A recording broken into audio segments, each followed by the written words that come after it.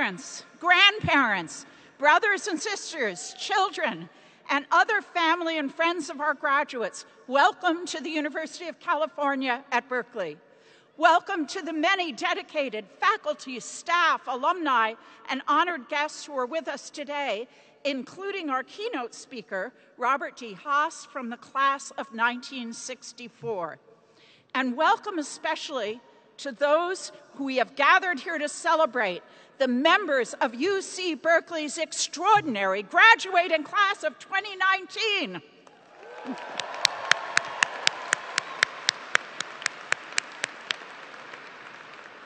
Sitting here, you all are no doubt experiencing a mix of relief, elation, wonder, and apprehension.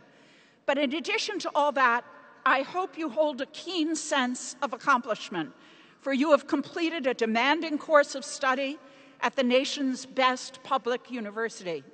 Today, you join and renew the long line of alumni reaching back 151 years, whose lives are forever intertwined with this institution. Today, you become one of nearly 500,000 living alumni worldwide who can proudly call themselves UC Berkeley graduates. The entire Cal community is proud of your achievements, but today, no one is prouder than the family and friends who have stood by you with their love, understanding, and support. Let's have a round of applause for them.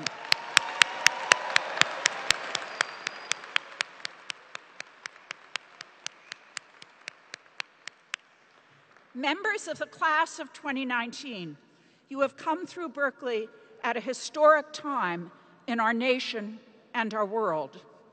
Your class saw the strongest woman presidential candidate in U.S. history ultimately delivered a stunning defeat in an election that upended American politics.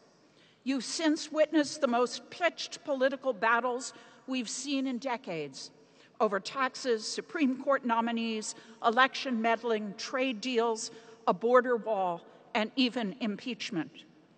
In your time here, the national conversation has been framed by urgent and probing issues of race, class, justice, and equality as the Black Lives Matter movement challenged institutional racism in law enforcement, as the Me Too movement toppled abusive men in positions of power, and as a new and more diverse slate of elected officials took office. While you've been on campus, concerns about cybersecurity, changes in the media we consume, and questions about privacy rights have asked us to reconsider our relationships to now ubiquitous new technology and modes of communication. While at Berkeley, you saw people and nations spring into action it to respond to humanitarian crises in Syria, Venezuela, and Yemen, yet also saw disdain for immigrants and refugees take hold here and around the world.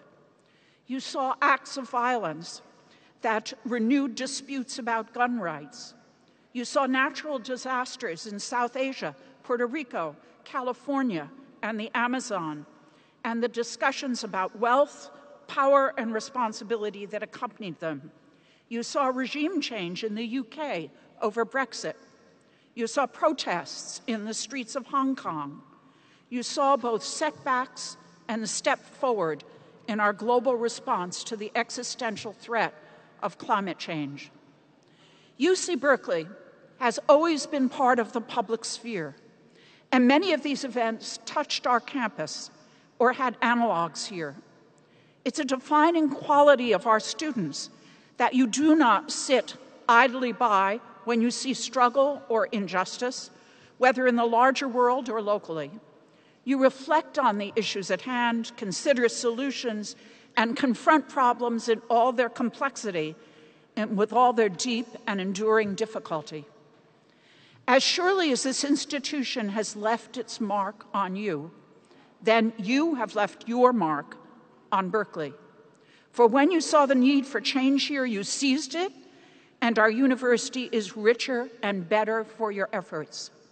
It was your classmates in the Black Student Union who were behind the creation of the Fannie Lou Hamer Resource Center and the ones who helped craft the African American Initiative, which is now working to improve our campus climate for Black students. It was the work of survivors and student advocates among you who helped this university look at how it handles cases of sexual assault and harassment and make improvements. You modeled strength and resolve in support of our undocumented student population as they were villainized by national leaders. You pushed our institution to put sustainability at the fore, making us the largest university to commit to 100% clean energy. Your advocacy in Sacramento helped legislators better value our institution your work through Bridges recruitment and retention centers helped bring in and bring up those from backgrounds historically underrepresented on college campuses. And your organizing helped create the Berkeley Basic Needs Center. You helped us learn how we might reconcile a commitment to community alongside a belief in the university's role as a public forum, open even to viewpoints we might find abhorrent and you joined us in efforts to use dialogue, not violence, to bridge the partisan divide. I do not believe that Berkeley is a bubble, as it is often called, but I do feel that in this campus we share a small and bounded world that each of us can influence, shape, and make different by what we do and say.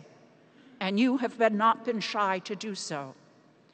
Now, on the cusp of life after college, a phrase I always imagine in all caps, you enter a world that is both full of incredible possibility as well as rife with intractable, intractable problems.